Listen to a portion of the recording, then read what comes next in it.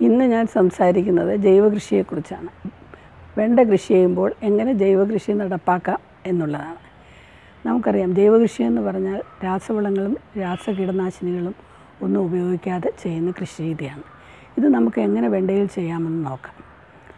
ആദ്യമായിട്ട് വേണ്ടത് കൃഷിസ്ഥലം ഒരുക്കുകയാണ്. കൃഷിസ്ഥലം ഒരുക്കി കഴിഞ്ഞാൽ നമുക്കതിൽ കുറച്ച് കുമ്മായം ചേർക്കാം. അമ്ലക്ഷാര സൂചിക ക്രമീകരിക്കാൻ വേണ്ടിയാണ് അമ്ലാംശം ഉള്ള മണ്ണാണെങ്കിൽ നമുക്ക് രണ്ട് കിലോ കുമ്മായം ഒരു സെന്റ് സ്ഥലത്തിന് എന്ന തോതിൽ ചേർക്കാം. അതുപോലെ തന്നെ കാലിവളമോ കമ്പോസ്റ്റോ ചേർക്കാം. ഈ ഇത് ട്രൈക്കോഡർമ എന്ന കുമിളും പി ജി പി ആർ എന്ന മിക്സ് മിശ്രിതവും ചേർത്ത് ഒരു പതിനഞ്ച് ദിവസം തണലത്ത് സൂക്ഷിച്ച ശേഷം മണ്ണിൽ ചേർക്കുന്നത് വളരെ നല്ലതാണ്. ട്രൈക്കോഡർമ ഒരു കുമിളാണ്. ഇത് ചെടിയുടെ രോഗകാരികളായ മറ്റു കുമിളുകളെ നിയന്ത്രിക്കുന്നതാണ്. P G P R mix one എന്ന് പറയുന്നത് ഒരു സൂക്ഷ്മാണുക്കളുടെ കൂട്ടായ്മയാണ് ബാക്ടീരിയയാണ് ഉള്ളത്. ഇത് ചെടിക്ക് വേണ്ട മൂലകങ്ങൾ കൂടുതൽ ലഭ്യമാക്കുന്നു. നമുക്കറിയാം ചെടിക്ക് വേണ്ടത് നൈട്രജൻ ഫോസ്ഫറസ് പൊട്ടാസ്യം ഇവയാണ്. ഇവയുടെ ലഭ്യത കൂടുതൽ ഉണ്ടാക്കുന്ന ഒരു കൂട്ടായ്മയാണ് സൂക്ഷ്മാണുക്കളുടെ കൂട്ടായ്മയാണ് പി ജി പി ആർ എന്ന് പറയുന്നത്. അതുപോലെ തന്നെ ഇത് ചെടിയുടെ വളർച്ച ത്വരിതപ്പെടുത്തുകയും ചെയ്യുന്നു. അതുപോലെ തന്നെ ജൈവകൃഷിയിൽ നമുക്ക് rock phosphate rock phosphate potassium sulphate ഇവയും നമുക്ക് ചേർക്കാം. ഇത് ഫോസ്ഫറസിനെയും പൊട്ടാസ്യത്തിനെയും ഒക്കെ ചെടിക്ക് നൽകും. ഇത് ഒരു മുക്കാൽ കിലോ വീതം അടിസ്ഥാന വളമായി ഒരു സെന്റിന് എന്ന തോതിൽ മണ്ണിൽ ചേർത്ത് കൊടുക്കാം. ഇത് നന്നായി ഇളക്കി കൊടുക്കുക. ഇതിന് ശേഷം മണ്ണിൽ ഈർപ്പമുണ്ടോ എന്നൊക്കെ പരിശോധിച്ച ശേഷമാണ് വിത്തുകൾ നടാനായിട്ടുള്ളത്. വിത്തുകൾ കുതിർത്ത ശേഷം നടുക. അതുപോലെ തന്നെ വരികൾ തമ്മിൽ അറുപത് സെന്റിമീറ്ററും ചെടികൾ തമ്മിൽ നാൽപ്പത്തഞ്ച് സെന്റിമീറ്ററും അകലം സൂക്ഷിക്കണം. ചെടികൾ അതുപോലെ തന്നെ മണ്ണിൽ സ്യൂഡോമോണസ് ഫ്ലൂറസൻസ് എന്ന് പറയുന്ന ഒരു ബാക്ടീരിയയാണിത് മണ്ണിൽ ചേർത്ത് കൊടുക്കാം സ്യൂഡോമോണസ് ഫ്ലൂറസൻസും രോഗങ്ങളെ നിയന്ത്രിക്കുകയും അതുപോലെ ഇപ്പം ചെടിയുടെ വളർച്ച ത്വരിതപ്പെടുത്തുകയും ചെയ്യും.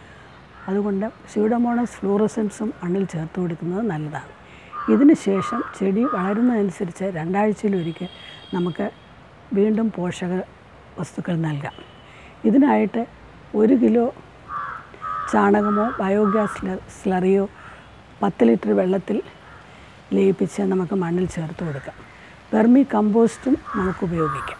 നാല് കിലോ എന്ന തോതിൽ അതുപോലെ തന്നെ വെർമി വാഷ് എട്ടിരട്ടി വെള്ളം ചേർത്ത് നമുക്ക് ഉപയോഗിക്കാം. അതുപോലെ കട കടലപ്പിണ്ണാക്ക് ഒരു കിലോ പത്ത് ലിറ്റർ വെള്ളത്തിൽ നേർപ്പിച്ച് അതിന്റെ തെളിയും മണ്ണിൽ ഒഴിച്ചു കൊടുക്കുക. ഇതെല്ലാം ചെടിയുടെ വളർച്ചയെ ത്വരിതപ്പെടുത്തും. ഈ സമയത്തെല്ലാം നമ്മൾ ചെടികളെ സൂക്ഷ്മമായി നിരീക്ഷിക്കണം. ചെടികളുടെ ചെടികൾക്ക് എന്തെങ്കിലും രോഗലക്ഷണങ്ങൾ കാണുകയാണെങ്കിൽ തുടക്കത്തിൽ തന്നെ എടുത്തു കളയാനായി ശ്രദ്ധിക്കണം. രോഗനിയന്ത്രണത്തിന് നമ്മ- നമ്മൾ രാസവസ്തുക്കളൊന്നും ഉപയോഗിക്കുന്നില്ല.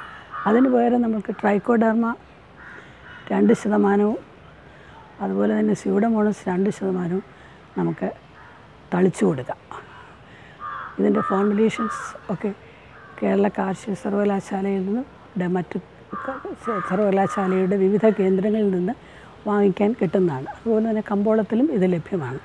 ഈ ഇത് ഇതുവഴി നമുക്ക് ഇതിനെ നിയന്ത്രിക്കാം. അതുപോലെ തന്നെ മൊസൈക്ക് രോഗങ്ങളൊക്കെ കാണുകയാണെങ്കിൽ ആദ്യം തന്നെ എടുത്തു കളയാനായിട്ട് ശ്രദ്ധിക്കണം. അല്ലെങ്കിൽ അത് കൂടുതൽ ചെടികളിലേക്ക് പടരാൻ സാധ്യതയുണ്ട്.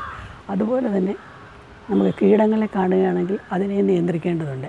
കീടങ്ങളെ നിയന്ത്രിക്കാനായിട്ട് നമുക്ക് സാധാരണയായി രണ്ട് ശതമാനം വീര്യമുള്ള വേപ്പെണ്ണ വെളുത്തുള്ളി മിശ്രിതവും അഞ്ച് ശതമാനം വീര്യമുള്ള വേപ്പിൻ കുരു സത്തും ഉപയോഗിക്കാം. അതായത് ഇരുപത് മില്ലി ലിറ്റർ വേപ്പെണ്ണയും ഇരുപത് ഗ്രാം വെളുത്തുള്ളിയുടെ ചാറും അഞ്ച് ഗ്രാം സോപ്പും ഒരു ഇമൽഷനാക്കി ഒരു ലിറ്ററാക്കി തളിക്കുന്ന രീതിയാണ് വേപ്പെണ്ണ വെളുത്തുള്ളി മിശ്രിതം. അതുപോലെ തന്നെ അമ്പത് ഗ്രാം വേപ്പിൻ കുരു പൊടിച്ചത് ഒരു ലിറ്ററിൽ കലക്കി തളിക്കുന്ന രീതിയാണ്. അഞ്ച് ശതമാനം വീര്യമുള്ള വേപ്പിൻ കുരു സത്ത് എന്ന് പറയുന്നത്. ഇതുകൂടാതെ കമ്പോളത്തിൽ ലഭ്യമായിട്ടുള്ള ഇക്കോനിയും അതുപോലെ നിംബിസിഡൻ തുടങ്ങിയ വേപ്പധിഷ്ഠിത കീടനാശിനികൾ രണ്ട് മില്ലി ലിറ്റർ ഒരു ലിറ്റർ എന്ന തോതിൽ തളിക്കുന്നതും ചെടി പ്രാണികളെ അകറ്റി നിർത്താനായിട്ട് ഉപകരിക്കും. അതുപോലെ തന്നെ നമുക്ക് ഇലചുരുട്ടി പുഴുവിന്റെ ആക്രമണം കാണുകയാണെങ്കിൽ നമുക്കതിനെ എടുത്തു കളയാം. അതുപോലെ തന്നെ നമുക്ക് ബിവേറിയ ബെസിയാന എന്ന് പറയുന്ന സൂക്ഷ്മാണു കിടന്ന കീടനാശിനി നമുക്ക് തളിച്ചു കൊടുക്കാം. അതുപോലെ തന്നെ നീരൂറ്റി കുടിക്കുന്ന പ്രാണിയെ നിയന്ത്രിക്കാനായിട്ട് നമുക്ക് ബെർട്ടിസിലിയം ലിക്കാനി എന്ന സൂക്ഷ്മാണു കീടനാശിനി തളിച്ചു കൊടുക്കാം അതുപോലെ തന്നെ ട്രൈക്കോ കാർഡുകൾ ഇതൊരു പരാതം അഥവാ പാരസൈറ്റാണ് അത് ഉപയോഗിച്ച് നമുക്ക് തണ്ടുതുരപ്പൻ പുഴുക്കളെ നിയന്ത്രിക്കാൻ സാധിക്കും.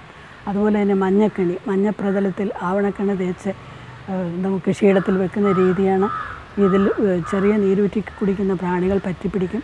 ഇങ്ങനെയും നമുക്ക് കീടങ്ങളെ നിയന്ത്രിക്കാം. ഇങ്ങനെയുള്ള എല്ലാ കാര്യങ്ങളും വളരെ ശ്രദ്ധയോടെ ചെയ്താൽ നമുക്ക് ജൈവകൃഷി സാധ്യമാകും.